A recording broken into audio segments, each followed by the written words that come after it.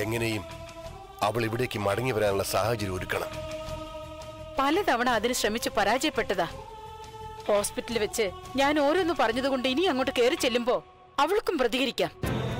അവരെന്തും പറഞ്ഞോട്ടെ? അതൊന്നും താൻ കാര്യമാക്കണ്ട. ഏതായാലും മോളെ വിളിക്കാനല്ലേ അമ്മ പോകുന്നത്. അപ്പോൾ എന്ത് നാണക്കേടും അപമാനവും സഹിക്കാവുന്നതേ ഉള്ളൂ. അപകടം ഉണ്ടായി ഹോസ്പിറ്റലിൽ കിടന്നപ്പോഴേ പലതവണ ഞാൻ വിളിച്ചതാ. ശരത്തിനെ വേദനിപ്പിക്കുന്നതാ. ഈ ആപത്തുകൾക്കൊക്കെ കാരണമെന്ന് ഓർമ്മിപ്പിച്ചതാ. എന്നാൽ അവിടെയും ശരത്തിനെ തള്ളി പറയുകയായിരുന്നു അവൾ.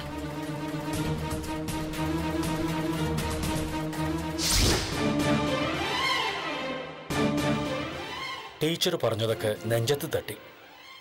ആ സമയത്ത് മുന്നിൽ വന്നവൻ ചാടിയ പിന്നെ ബാക്കി വെക്കാൻ തോന്നില്ലല്ലോ. അതുകൊണ്ടാ പിന്നാലെ പാഞ്ഞത്. പിന്നെ അവൻ ആയുസ് ഒരുപാടായിപ്പോയതുകൊണ്ട് വഴുതിപ്പോവും.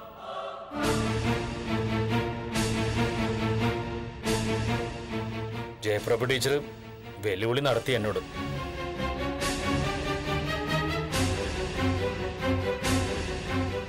എന്റെ മോളെ ഞാൻ അവിടുന്ന് കൊണ്ടുപോകുന്നാ പറഞ്ഞത്. ഇങ്ങോട്ട് വരുന്നും പറഞ്ഞു. തന്നെ കാണാൻ. വരട്ടെ. എന്നിട്ട് കണ്ടിട്ട് പോട്ടെ. ഞാൻ ഇനി ഈ വീടിന്റെ മരുമകളാ. സാറിനെ കോടതി വെറുതെ വിട്ടാ നമ്മൾ അങ്ങ് കാഞ്ഞിരപ്പള്ളിക്ക് പോവും. ആ നാട് എനിക്ക് അത്രയ്ക്ക് ഇഷ്ടായി. ഇങ്ങനെ തന്റെ അടുത്തോടെ നിൽക്കുന്ന ഒരു രോഹിണിയാ എനിക്കും അമ്മച്ചിക്കും വേണ്ടത്. ഒരു പെങ്കൊച്ചനെ വിളിച്ചോണ്ട് വാടാ വിളിച്ചോണ്ട് വാടാന്ന് അമ്മച്ചി എന്നോട് പറഞ്ഞിരുന്നു.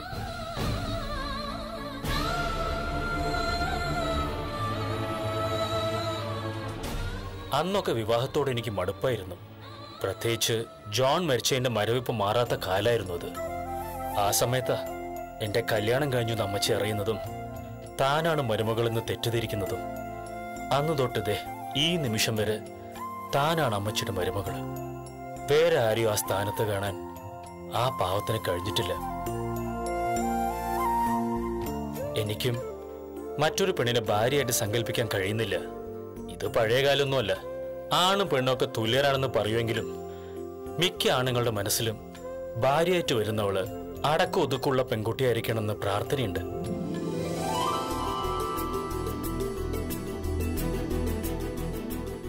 അങ്ങനെയുള്ളൊരു പെൺകുട്ടി മുന്നിലെത്തുമ്പോ മറ്റു പോരായ്മകളും നോക്കേണ്ട കാര്യമില്ല രോഹിണി.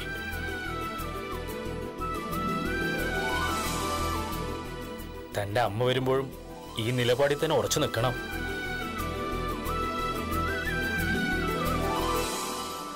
സാറ് വിഷമിക്കണ്ട.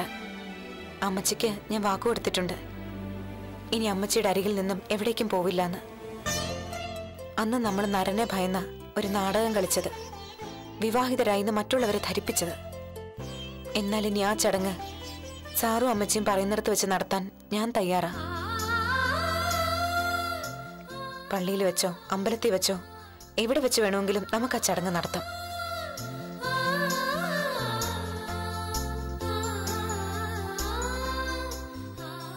ഞാൻ വിട്ടുപോകുമെന്നുള്ള ഭയം ഉണ്ടെങ്കിൽ നാളെയെങ്കിൽ നാളെ അതാവാം.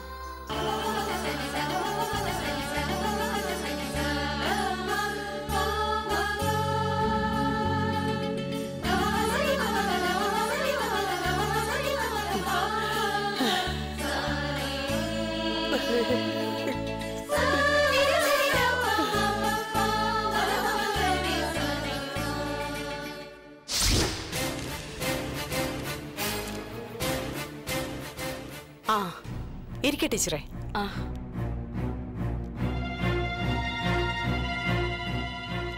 മകളുടെ കൊലയാളിക്ക് ജാമ്യം കിട്ടിയതിന്റെ അമർഷം ഉണ്ടല്ലേ അത് പിന്നെ കാണാതിരിക്കുവോ?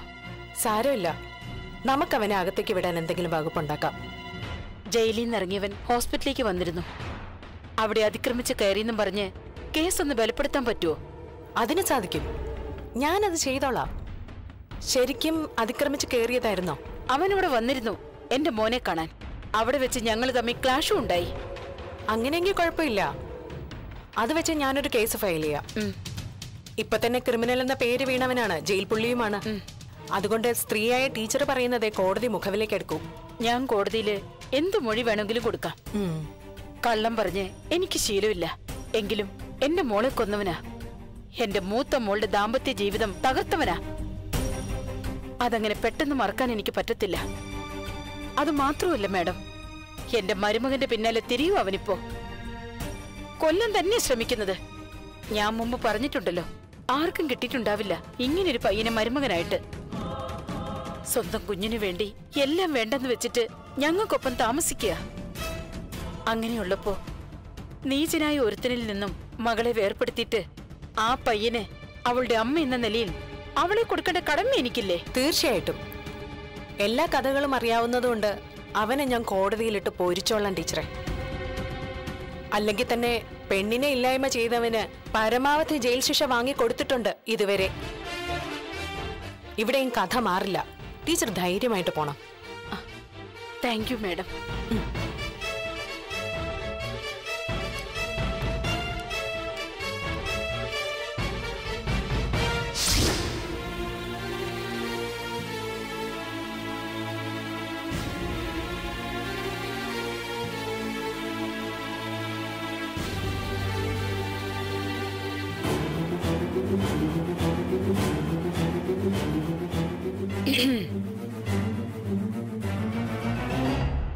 സത്യങ്ങൾ മനസ്സിലാക്കിയിട്ട് മോളോട് മാപ്പ് ചോദിക്കാൻ വന്നതാണോ?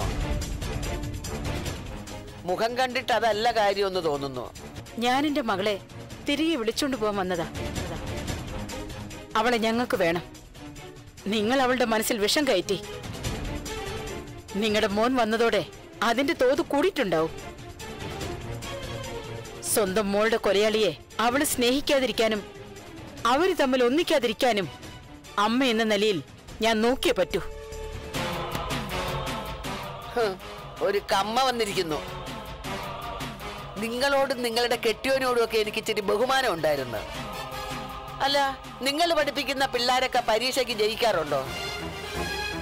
തലയ്ക്കകത്ത് ആൾ താമസമില്ലാത്തവർ പഠിപ്പിച്ചാൽ ജയിക്കുമെന്നാ ഞാൻ ചോദിച്ചത്. കൺമുമ്പിൽ തന്നെയുണ്ട് മോളുടെ കൊലയാളി. അവൻ നിങ്ങൾ നൊന്തുപെറ്റ മക്കളെയൊക്കെ ഇല്ലാതാക്കിയിട്ട് എഴുതി കൊടുത്ത സ്വത്തെല്ലാം വിറ്റ് കാശാക്കിയിട്ട് ഏത് നിമിഷവും മുങ്ങാനായിട്ട് തയ്യാറായി നടക്കുക. അവൻ ഈ പറഞ്ഞതൊക്കെ ചെയ്തിട്ട് പോയി കഴിയുമ്പോഴേ നിങ്ങൾക്ക് നിങ്ങളുടെ കെട്ടിയോനും ബോധം വരുത്തുള്ളൂ. ഒന്നും രണ്ടും അല്ല പത്ത് പതിനാറ് പെങ്കൊച്ചുങ്ങളെയാ രാഹിമോളുടെ കൊലയാളി വഞ്ചിച്ചത്. അത് മാത്രോ? നിങ്ങളുടെ മോൻ ഇപ്പൊ ആശുപത്രിയിലാണല്ലോ. അതിനാരാ കാരണക്കാരൻ? എപ്പോഴെങ്കിലും കഴിഞ്ഞതൊക്കെ ഓർത്തെടുക്കാൻ ആ കൊച്ചിന് പറ്റും. അപ്പോ മോൻ പറഞ്ഞു തരും സംഭവിച്ചത് എന്താണെന്ന് ഒന്നും പറയാനില്ല. നിങ്ങളിപ്പോ തീറ്റിപ്പോറ്റുന്നുണ്ടല്ലോ ഒരുത്തനെ. എന്റെ മോളുടെ കൊലയാളി ബാങ്കിൽ നിന്ന് ലോൺ എടുത്ത് അവന് സ്വന്തമായിട്ട് ഒരു ഓട്ടോയും കൊടുത്തിട്ടുണ്ടല്ലോ. അവനാ എന്റെ മോൻ ഈ പരുവത്തിലാക്കിയത്. ഞാൻ മോന്തയ്ക്ക് കാറി തുപ്പുന്നതിന് മുമ്പ് ഇറങ്ങി പോകാൻ നോക്ക്.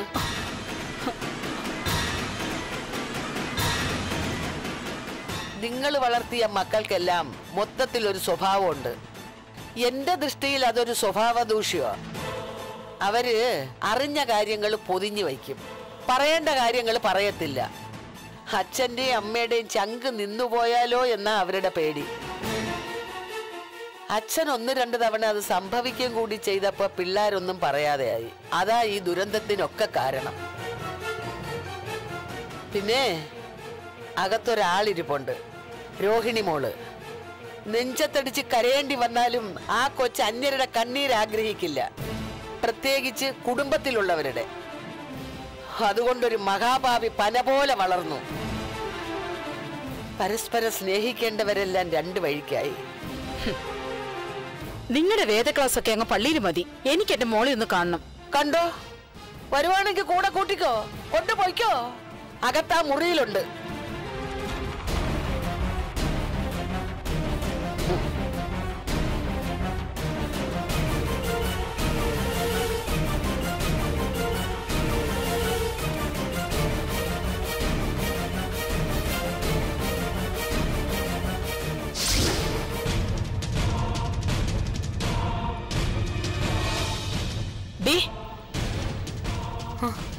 അമ്മേ ഒട്ടും പ്രതീക്ഷിച്ചില്ല അല്ലേ എന്റെ മോൾ കൊല ചെയ്യപ്പെട്ട ഈ വീട്ടിലേക്ക് ഇനി ഒരിക്കലും വരരുതെന്ന് ഞാൻ കരുതിയതാ.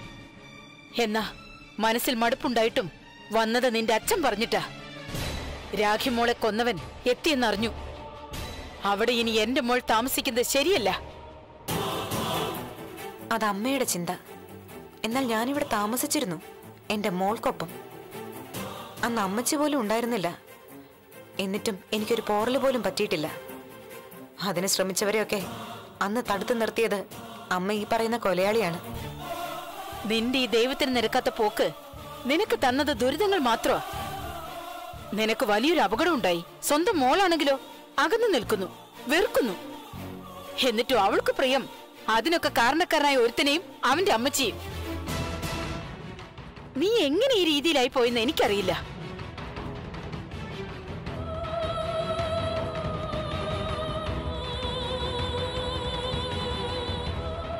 എന്റെ പോക്ക് ശരിയായ ദിശയില.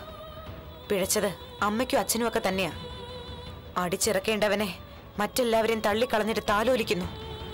സത്യം പറഞ്ഞ വേദനയുണ്ട്. എന്റെ അച്ഛനും അമ്മയും ഇത്രയും പാവങ്ങളായി പോയതിൽ ഞങ്ങളുടെ കാര്യം വിട്. എന്താ നിന്റെ തീരുമാനം? അച്ഛൻ ആഗ്രഹമുണ്ട് നീ അരികിൽ വേണമെന്ന് നീയും ശരത്തിൽ ലച്ചുമോൾക്കൊപ്പം ഒന്നിച്ച് കഴിയണമെന്ന് ആഗ്രഹമുണ്ട്.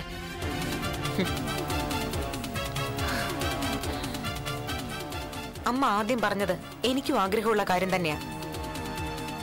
അച്ഛനൊപ്പം കഴിയണമെന്നും എന്നും അച്ഛനെ കാണണമെന്ന് ഞാനും ആഗ്രഹിക്കുന്നുണ്ട്. എന്നാൽ രണ്ടാമത്തേത് ഞാൻ എന്നെ കൊല്ലുന്നതിന് തുല്യവാ.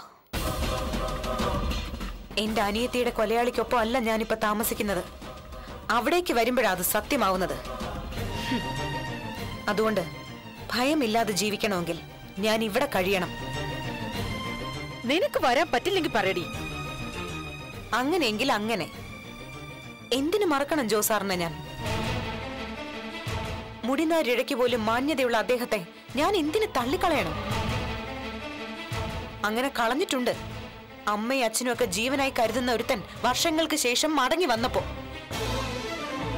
എന്നാ ഇനി അങ്ങനെ അദ്ദേഹത്തെ ഞാൻ വേദനിപ്പിക്കില്ല. എവിടെയാണ് സുഖവും ദുഃഖവും എന്ന് തിരിച്ചറിഞ്ഞ പെണ്ണാ ഞാൻ.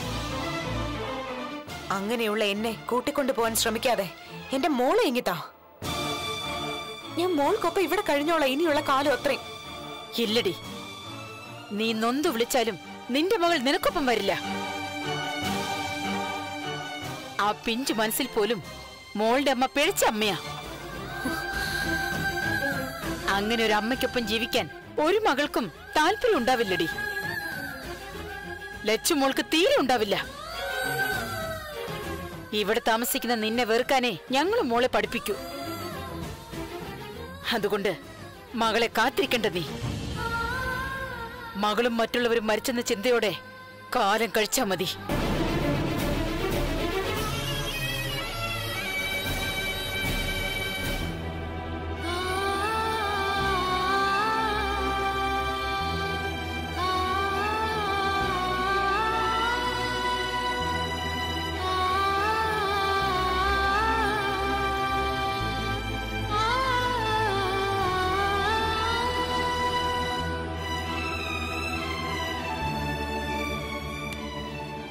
എന്തേ? മോൾ വന്നില്ലേ? ഇനി വരത്തില്ല. പിന്നെ വരി എപ്പോഴാണെന്നറിയാമോ? നിങ്ങളൊക്കെ നല്ലവരെ തിരിച്ചറിയുമ്പോ. മനസ്സിലായി. നിങ്ങളുടെ മോൻ കൂടി മടങ്ങി വന്നതോടെ അവളുടെ മനസ്സ് പൂർണമായി മാറ്റിയെന്ന്. വിദ്യാഭ്യാസവും വിവരവും ഉള്ളതാണ് നിങ്ങളുടെ മോൾ. അതിന് ആൾക്കാരെ തിരിച്ചറിയാം. എവിടെ നിൽക്കണമെന്നറിയാം അവൾ ആഗ്രഹിക്കുന്ന രീതിയിലുള്ളൊരു ജീവിതം അവക്ക് കിട്ടാൻ പോകുന്നില്ല. വലിയ വെല്ലുവിളിയൊന്നും നടത്തണ്ട. എന്റെ മരുമോൾ എന്റെ ജോസൂട്ടന്റെ ഭാര്യ അങ്ങനെ കഴിയും രോഹിണി മോളിനി. വലിയ ദേഷ്യമൊന്നും കാണിക്കണ്ട. അവന്റെ ഭാര്യയായി അങ്ങ് കാഞ്ഞിരപ്പള്ളി കഴിയും. കുറച്ച് ദിവസം കഴിയുമ്പോ നിങ്ങളുടെ മോൾ.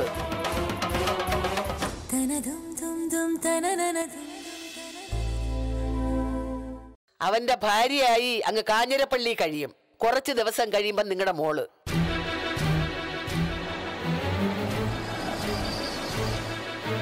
നിങ്ങളുടെ മോളെ തട്ടിയെടുത്തുന്ന അഹംഭാവമൊന്നും ഞങ്ങൾക്കില്ല. മക്കളാണേലും സ്വന്തം വീട്ടിൽ അവർക്ക് ഭയന്ന് കഴിയേണ്ടി വന്നാൽ അവർ മറ്റു തണൽ തേടി പോവും. ഇതിനെ അങ്ങനെ കണ്ടാ മതി. ടീച്ചർക്ക് സുഖമാണോ? ആയിരുന്നു ഒരു സമയത്ത്. എന്നെ തല്ലിക്കെടുത്തി. നിന്നെ പോലൊരുത്തൻ ഈ നാട്ടിലേക്ക് വന്ന ശേഷം. നീ എന്താണ് വായും പൂട്ടിരിക്കുന്നത്? ആര് വന്നതിന് ശേഷമാണ് കുടുംബം തകർന്നതെന്ന് പറഞ്ഞു കൊടുക്ക് അത് പറഞ്ഞിട്ടും പ്രയോജനമില്ലല്ലോ അമ്മച്ചി. എല്ലാം പറഞ്ഞു കൊടുക്കേണ്ട ആൾ അറിയേണ്ടതൊക്കെ അറിഞ്ഞു കഴിഞ്ഞപ്പോ അയാളുടെ ഓർമ്മശക്തി പോയി. എങ്കിലും ചില സത്യങ്ങൾ മനസ്സിലാക്കിയ ശേഷം അറിയോ ടീച്ചർക്ക് നിങ്ങളുടെ മകൻ എന്നെ കാണാൻ വന്നിരുന്നു ജയിലിൽ.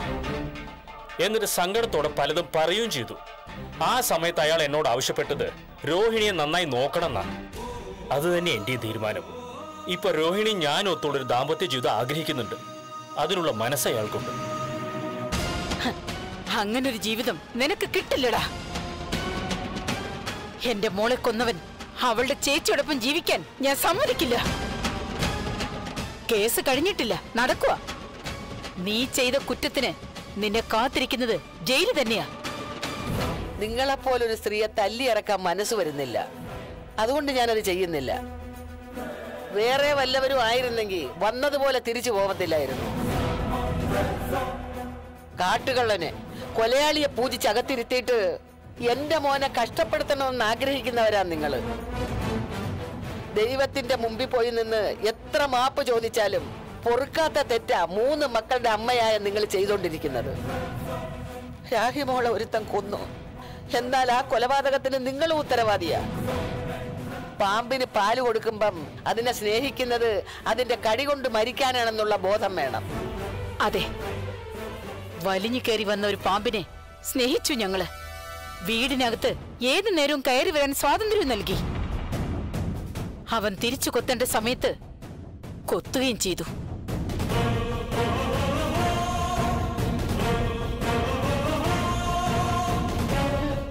അവൾ എന്താടാ ഇങ്ങനെ?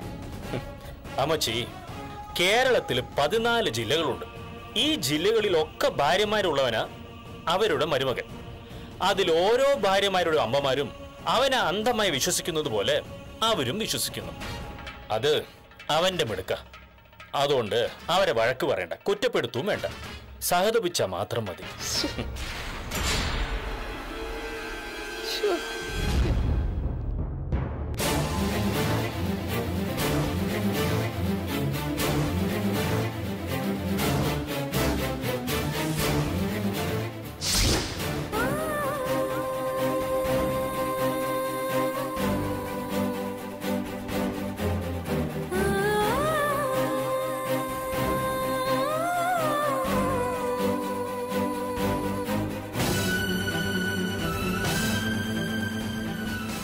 എനിക്കുണ്ട് ഇരിക്കേ.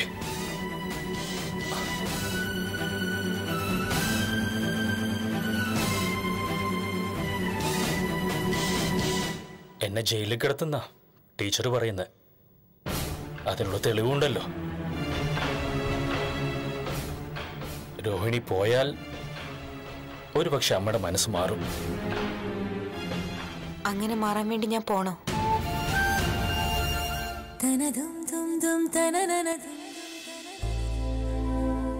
രോഹിണി പോയാൽ ഒരു പക്ഷെ അമ്മയുടെ മനസ്സ് മാറും. അങ്ങനെ മാറാൻ വേണ്ടി ഞാൻ പോണോ?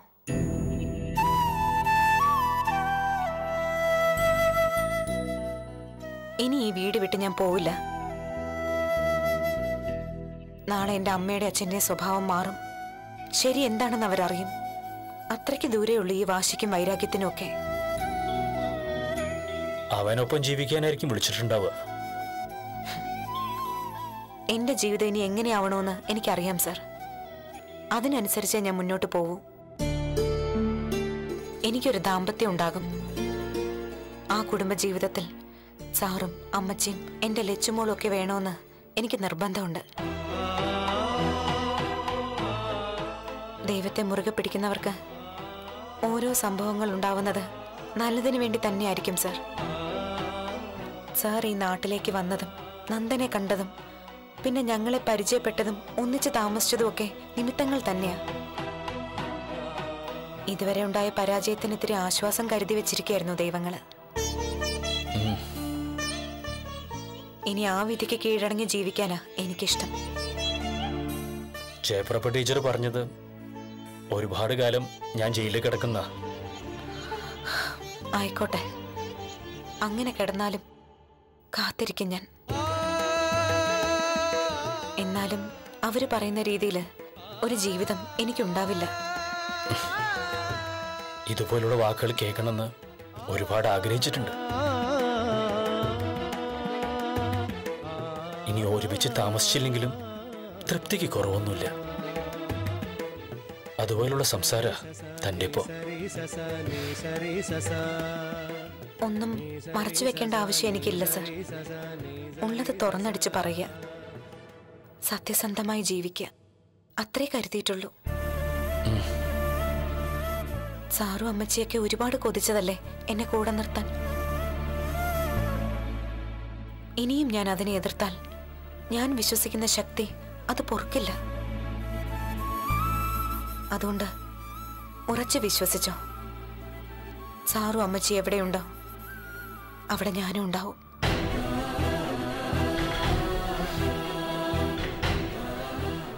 ഇനി സാർ ഇല്ലാത്തൊരവസ്ഥ ഉണ്ടായാൽ അമ്മച്ചിയുടെ മരുമകളായിട്ട് ഞാൻ കൂടെ കൂടും. ഈ വാക്കുകളൊക്കെ എന്നേക്കാൾ കൂടുതൽ സന്തോഷിപ്പിക്കുന്നത് അമ്മച്ചിയായിരിക്കും. ഭാവം ഈ പ്രായത്തിൽ എല്ലാം നഷ്ടപ്പെട്ടില്ലേ? ഇനി ആകെയുള്ള പ്രതീക്ഷ നമ്മൾ ഒന്നിച്ചുള്ള ജീവിത അതിനെ തടസ്സമൊന്നും വരാതിരിക്കട്ടെ.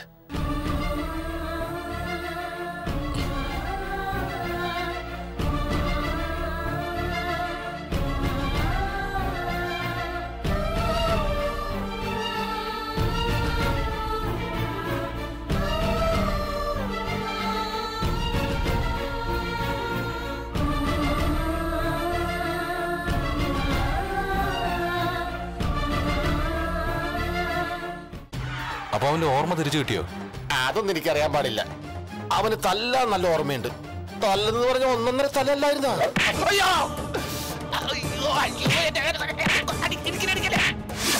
സാർ നിത്യരോഗി. മോന് സ്ഥിരബുദ്ധിയില്ല. മരുമോനാണെങ്കിൽ ഭൂലോക പാഴ്.